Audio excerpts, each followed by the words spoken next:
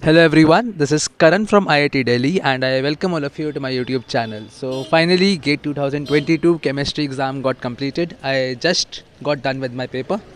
So talking about the analysis or review of the paper, so the paper was tougher than the last year obviously. It was of the level of level was good compared to the last year. And if I talk about questions, there were questions from quantum, organic and like complete com- like quantum also good questions. Organic was like on a easier side as compared to previous papers. And uh, talking about other things the paper was good level. Le- like the paper level was good but for those who have studied complete msc syllabus complete netgate syllabus uh, the paper would be on a medium to easier side for them. But for the jam students who have not studied the uh, netgate syllabus will be a the paper will be slight tougher for them so these are the things which I could say at this moment because the paper was of good level, obviously like higher level than the last year.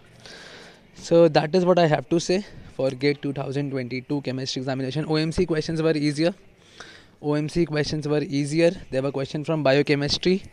I guess Sanger's reagent ka question tha, if I'm not wrong. There were questions of physical spectra. There were questions from covering bioorganic also.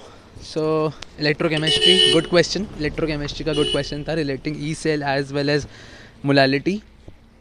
And uh, orgel se question tha there were question from orgel also orgel diagram. So the paper was good level as compared to the last year GATE 2021 it was of more of easier side last year but it's like moderate this uh, this year okay? But the person who has studied complete syllabus will be able to score 50 60 marks but it will be slight tougher for the BSc JAM students. Okay, so keep studying for next JAM exam on the next Sunday.